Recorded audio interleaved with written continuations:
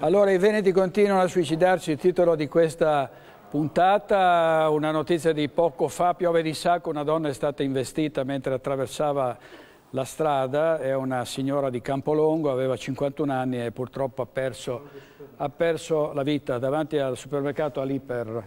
Allora, bravo Finco, sbarcate anche a San Michele al Tagliamento, ultimo lembo del Veneto dimenticato da tutti. Tra poco sentiremo al telefono anche l'assessore al bilancio del Comune di Venezia, Michele Zuin, che ha chiesto di intervenire, ma intanto ah, andiamo, ripartiamo,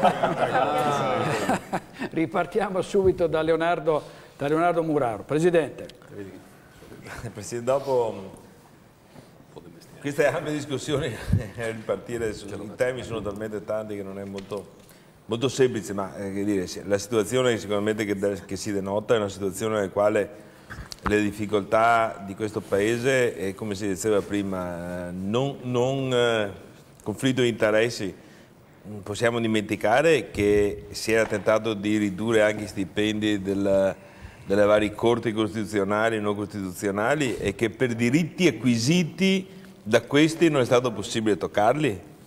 Cioè i diritti acquisiti del lavoratore che assunto 35 anni fa, gli dicevano fra 35 anni vai in pensione, quel diritto acquisito non esiste. Il diritto acquisito per coloro che prendono 700, 500, 400 mila euro all'anno lordi invece ci sono i diritti acquisiti. Il diritto acquisito del pensionato che manca due anni per andare in pensione e arriva alla Fornero, quello non è un diritto acquisito. No. Ma questo è un paese che va rivoluzionato completamente. Io non voglio interrompere, ma dico che ho qualche sorpresina in tasca. I prossimi mesi saranno divertenti, proprio sul lato dei diritti acquisiti. Quindi qualche, ci stiamo lavorando. Qualche sorpresina, ma io prima, prima mm, Berti, dicevi quando eh, i vari passaggi del Movimento 5 Stelle, quando andremo al governo, io, io, sto perdendo la fiducia che al governo ci arrivi qualcuno che faccia veramente qualcosa per questo nostro paese. Primo perché abbiamo perso l'autorevolezza, non contiamo più niente in Europa, ci è stata portata via la politica economica, l'Italia non ha più una politica economica, l'Italia non ha più una politica estera, l'Italia non ha una politica per, per, per, poter governare questo paese, perché siamo comandati all'interno dell'Europa da due o tre nazioni. Allora stiamo perdendo l'autorevolezza di un paese che vuole gestire proprie, il proprio territorio, i propri confini che non esistono più. Prima qualche telespettatore diceva blocchiamo i confini. I confini noi non siamo in grado di bloccare i confini. Se noi pensiamo che ci sono pensionati che prendono 400 euro al mese di pensione, qui solo provincia di Treviso facciamo finta che sono 1500 immigrati, a 35 euro al giorno sono 52 mila euro al giorno che noi paghiamo. A fine mese, ogni mese ci costano gli immigrati in provincia di Treviso costano 1.570.000 mila euro.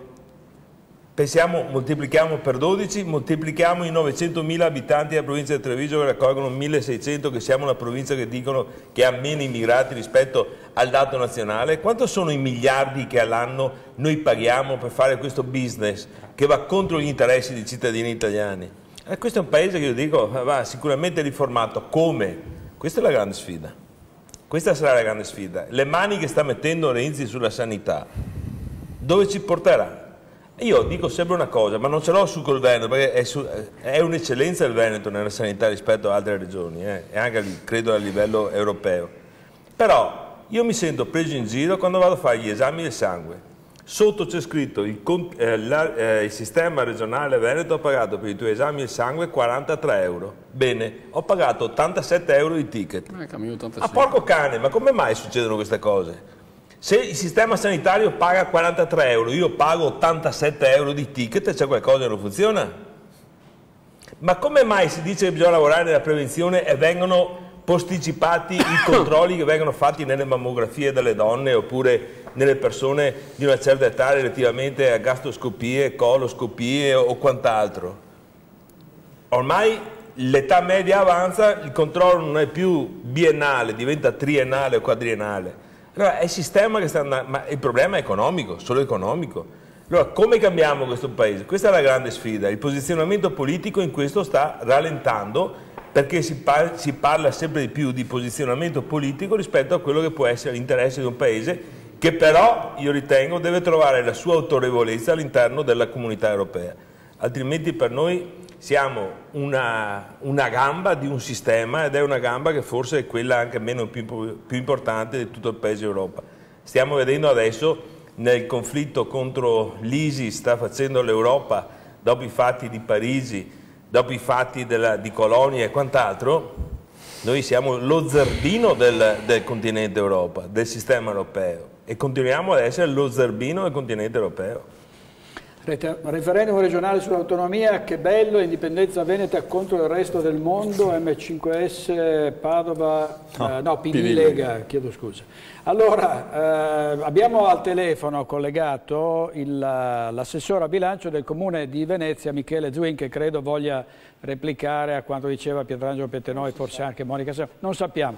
Comunque, Assessore, buonasera, grazie. Buonasera, buonasera ci, a tutti. Ci, di, ci dica pure eh, tutto quello che vuole dirci. Io non ero davanti alla televisione, ma mi è stato riportato, sì. sa, sul discorso della, della Marco Polo System capisco l'amarezza di Petenò perché gli abbiamo portato via il giocattolo che teneva da tanti anni, ma è facile fare utili con i soldi del comune, con i contributi del comune, bisognerebbe anche ricordarsi i debiti che ha quella società nei confronti del comune e ricordargli che se il socio greco non ha, non ha aderito alla liquidazione è proprio perché ha paura di dover pagare i debiti, i debiti in futuro e per quello vuole cercare di mantenerla, di mantenerla in vita.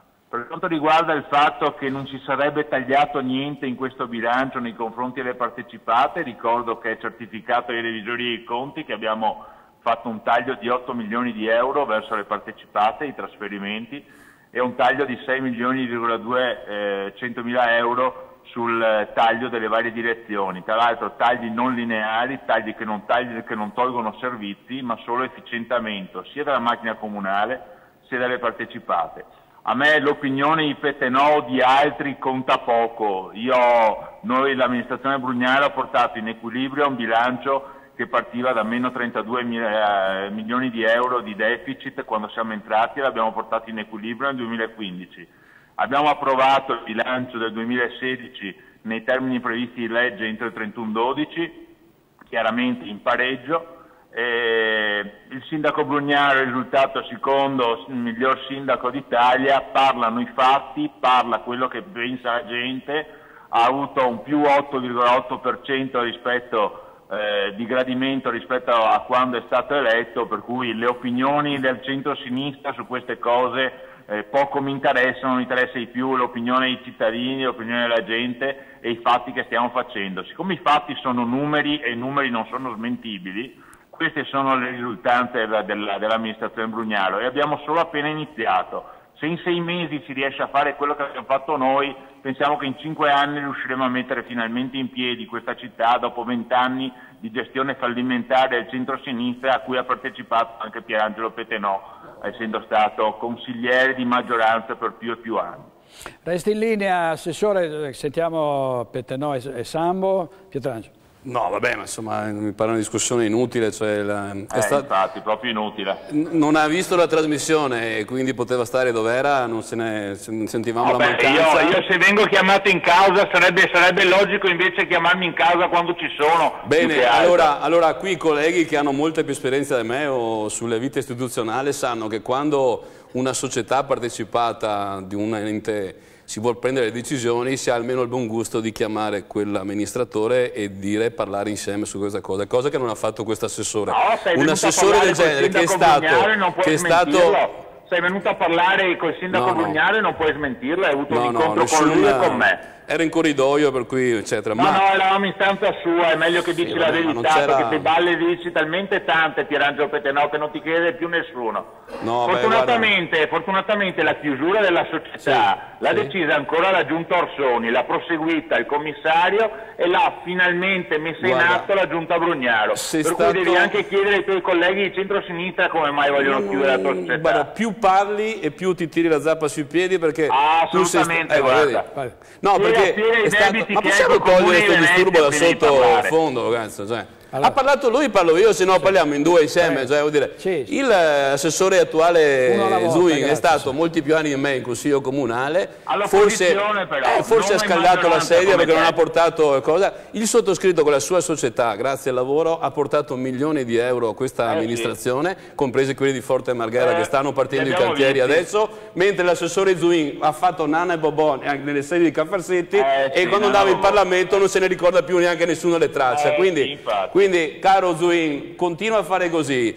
A me non interessa centro-sinistra, centro-destra, io valuto, me, guarda, credo di, di, poter dire che, che, credo e chiedo di essere valutato e valuto gli altri per quello che fanno, e indipendentemente, indipendentemente dalle appartenenze, eh, appartenentemente dalle, dalle appartenenze o, da, o, dalle, o dalle lingue che metti da qualche parte te per poter essere in quei posti. Quindi, caro Michele Zuin, chiedi ai colleghi tutti qual è il mio lavoro e un'altra volta impara e chiedi gli incontri istituzionali, perché gli assessori fanno questo di solito, non vanno a sentirsi dire le cose e essere comandati a bacchetta da qualcun altro. Non Quindi caro assessore, è bene che tu impari a fare l'assessore, è bene che tu impari a fare l'assessore perché veramente stai dimostrando tua, di essere una persona scorretta, di essere una persona che non merita di essere un amministratore di una città come quella di Venezia, perché uno che è assessore, indipendentemente da chi ha di fronte, che può essere Pettenò, che era di rifondazione comunista, che era un tuo avversario politico,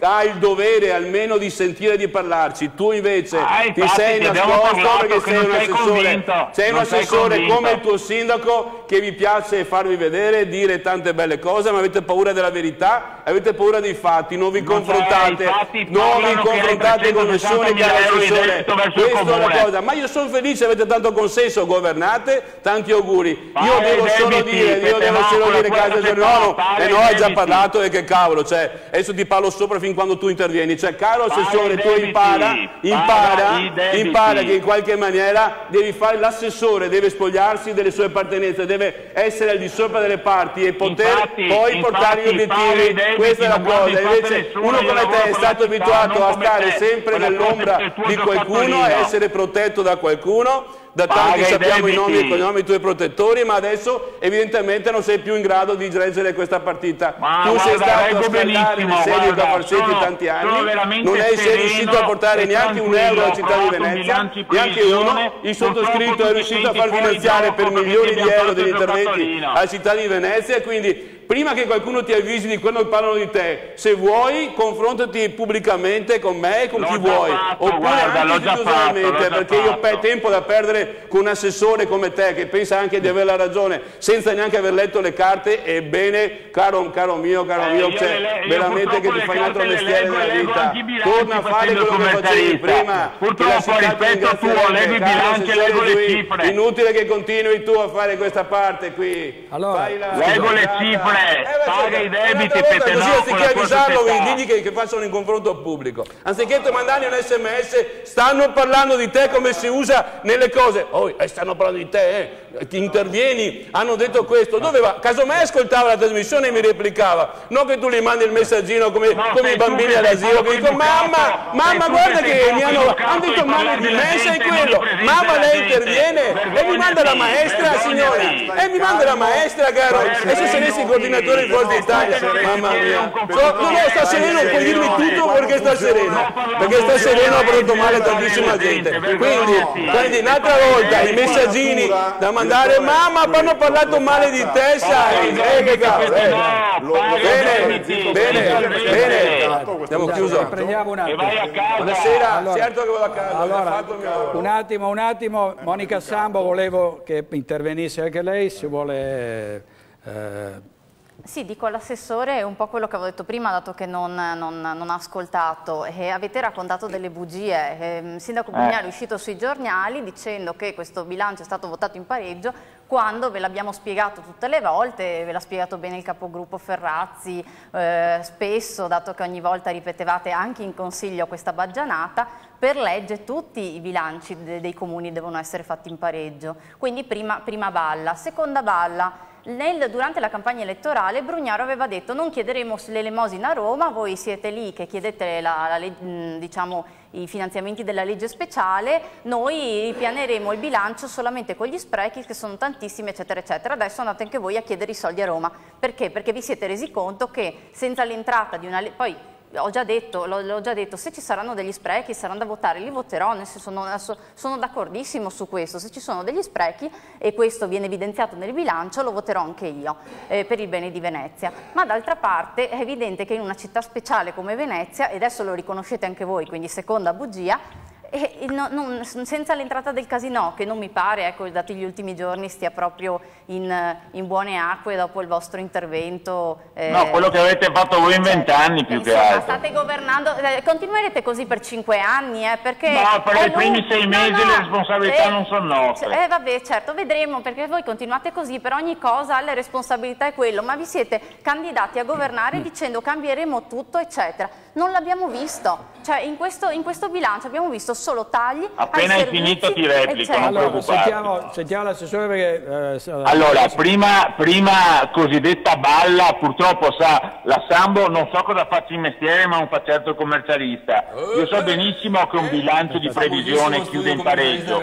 il problema è che noi parlavamo del 2015 il bilancio 2015 il bilancio 2015 chiude in pareggio. Vi riporto il virgolettato dei giornali e anche se volete e anche se volete del bilancio 2014 ha chiuso con disavanzo di 72 milioni di euro, mentre il 2015 che siamo arrivati con uno sbilancio di 32 milioni di euro lo chiudiamo in pareggio. D'accordo?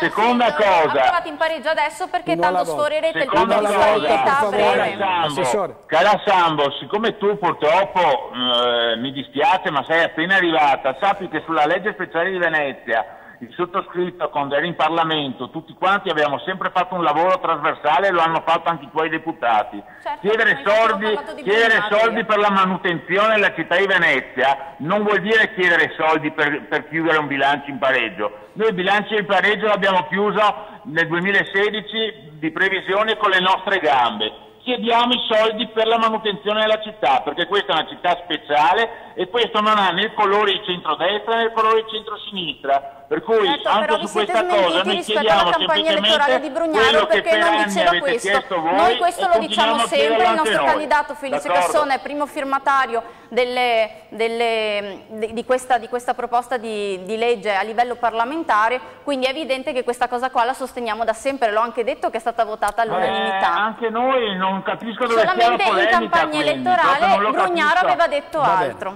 Allora... No, no, non mi dispiace, guarda, Brugnaro non aveva detto altro. Noi abbiamo chiuso il bilancio, sai, c'è una differenza tra le entrate correnti e le spese in conto capitali. Le entrate correnti le abbiamo chiuse con le nostre gambe senza bisogno di aiuti del governo. Per la parte in conto capitale chiediamo giustamente dei soldi per la città di Venezia, come li avete chiesti voi e come chiaramente li chiederebbe chiunque perché fare un restauro a Venezia costa il triplo e il quadruplo di farlo in qualsiasi altro posto della città, sia terraferma che nelle isole.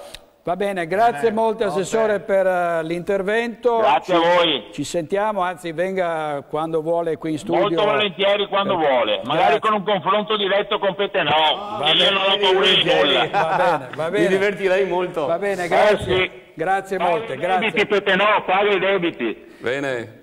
Ma voleva capire esiste. Ma, ah, ma se un commercialista, questo sei un commercialista, guarda, se questo sei un commercialista mi so proprio davvero Babbo Natale, perché cosa ti vuole? Dimmi che regalo che ti vuole, ma fammi una cortesia. Uno gli appaghi i debiti, ma non sei neanche un buon essere carte, ma non cosa ti vuole? Allora, Michele Celeghin. Buonetto. Così chiudiamo il giro. Bah, io penso che da, anche da questo momento telefonico insomma, ecco, si sia sì. evidenziato una, una, realtà di fatto, nel senso che c'è stato chi ha eh, così messo sul tavolo alcuni dati e, e, e chi per tutta risposta ci ha parlato sopra. Eh, questa è una riflessione che faccio ad alta voce ma che sicuramente molti faranno. Bene, organizza un senso. confronto con i dati, visto ed che è, sei un potente partito dei dati. È, organizza è, un bel confronto te con il tuo assessore, vengo con i dati, organizzalo. In qualsiasi sede, anche quella di Forza Italia. Lasciamo, lasciamo, finire. No, vabbè, ma non può dire. Cioè, non è che io ho parlato, so, ho parlato sopra a un maleducato di un assessore che continuava a dire delle cose false. Lui dice che gli ho interrotto perché non c'avevo i dati. Col cavolo, sto chiedendo da sei mesi, da quando sono al governo questi qui, sto chiedendo esattamente, non perché io ho problemi, perché io, Finco sa bene, io centrodestra, Lega, eccetera, eh,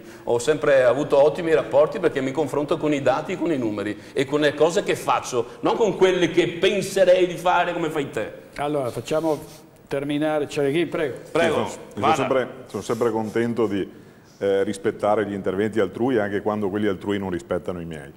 Eh, però è una questione di stile, evidentemente. Certo. Eh, mh, ciò significa che degli interventi sono stati fatti, che questi interventi hanno avuto un certo radicamento e che come tanti interventi di risanamento che vengono posti in essere a livello locale piuttosto che regionale, piuttosto che nazionale, il direttore eh, eh, portano eh, sempre anche a degli scontenti. È chiaro che una realtà eh, come quella veneziana eh, in questo momento o interveniva in maniera drastica oppure sarebbe stato un baratro annunciato. Per cui ecco, le responsabilità di chi ha governato e sta governando in questi primi sei mesi andranno valutate come correttamente si fa in tutte le amministrazioni eh, nel momento in cui ci saranno due o tre anni di governo e cifre alla mano ci saranno i, i confronti debiti. Eh, questo per quanto riguarda Venezia. Per quanto riguarda la situazione invece che si è accennata prima eh, a livello nazionale su conflitti di interesse o altro, io dico solo questo, eh, se alcune riforme non sono state fatte eh, non sono state fatte non per questioni imputabili al centro-destra o al centro-sinistra, per questioni politiche. Evidentemente sul tavolo nazionale della politica non c'era un interesse a muoversi in questa direzione.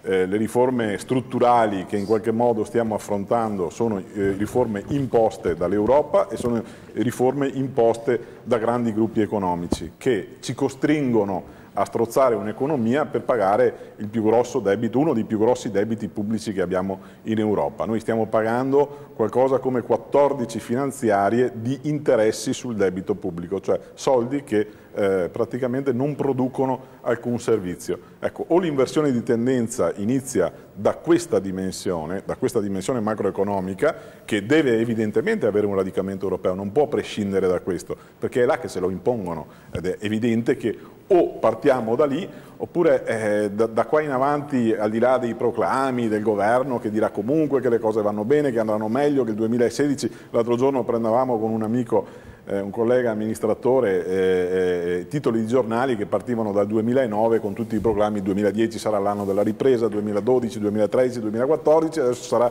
il 2016 o il 2017. Io penso che la eh, dimensione reale del problema sia quella che abbiamo affrontato all'inizio della trasmissione, ovvero che una ripresa economica non c'è, e che questa ripresa può esserci in due eh, ambiti, quello sociale che è quello di cercare di tamponare al massimo facendo rete sul territorio per eh, così in qualche modo raccogliere quei casi più disperati come l'azione la, la, di suicidio che c'è stata oggi o piuttosto le altre, assieme a queste che sono quelle più eclatanti anche di quelle tante tantissime famiglie che si trovano in difficoltà e che nella riduzione delle spese si trovano eh, in difficoltà con l'educazione per il, il, trasporto, per le scuole, per i libri dei figli e anche per le prospettive future. Troppi studenti, anche universitari italiani, stanno guardando all'estero e pensano che se non c'è una prospettiva estera non c'è un futuro. Ecco, questo è sconsolante per chi vive e per chi lavora in Italia da anni e per chi vorrebbe che questo Stato eh, rilanciasse, almeno in prospettiva per i giovani, un futuro almeno più certo. Ecco. Allora li rifiutano in tutta l'Europa e vengono qui a chiedere i documenti, siamo l'ultima spiaggia, torneremo su questi temi degli indigenti domani sera con i veneti schiacciati dalla crisi come sempre, ma quando c'è Padrin chiudiamo con una pillola di saggezza. Eh? No, io credo che la, la distinzione vera oggi sia fra quelli che stimolano la partecipazione, vogliono che i cittadini vadano a votare per chiunque ma vadano a votare e quelli che si coltivano un orto attraverso l'esercizio del potere.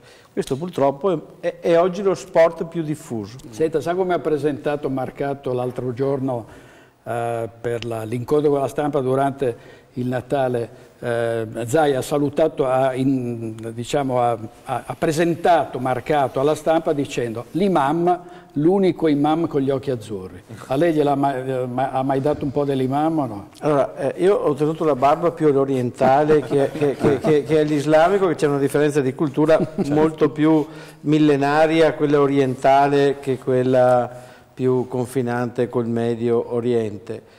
Eh, io credo però, e questo ne dissenterà, eh, eh, dissenterà Finco, che ci sono aspetti comuni sia fra l'estremismo islamico che l'estremismo di alcune parti della Lega. Eh beh, una bella, uno, be uno spunto Sono di cui possiamo parlare simili. Eh? Il verde predomina, eh, in effetti. Allora, dobbiamo chiudere, abbiamo chiuso con un, con un sorriso dopo una puntata beh. in cui si è parlato di, di, tanti veneti che si sono tolti la vita, delle cause, non riusciremo a fermare probabilmente con una, la bacchetta magica questa strage, ma insomma cerchiamo di trovare dei sistemi. Chi ha problemi, chi vuole un aiuto, venga qui in studio, ne parli, c'è Mirella, ci sono i volontari, c'è il Banco Solidale. Possiamo anche noi fare nostro, del nostro meglio, nel nostro piccolo, per aiutare chi sta soffrendo. Grazie molte a tutti, eh, buonanotte, ci vediamo domani sera ovviamente. Arrivederci. Arrivederci.